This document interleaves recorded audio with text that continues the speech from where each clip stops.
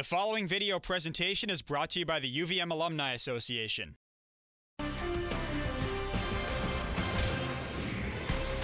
Good evening, everyone, and welcome to our New York studios in the NCAA Basketball Championship Selection Show.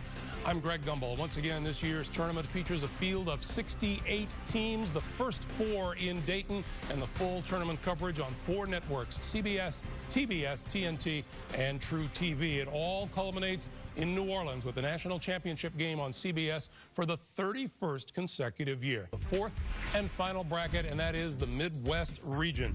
As we said earlier, the number one seed in the Midwest. And fourth team out of the ACC, the Tar Heels of North Carolina. Coach Roy Williams makes the NCAA tournament for the 22nd time in 24 years. He'll play the winner of the first round matchup Wednesday in Dayton, Ohio between Lamar's Cardinals, a number 16 seed, or fellow 16 seed Catamounts of Vermont out of the American East. Those two will vie for the right to move on to play North Carolina.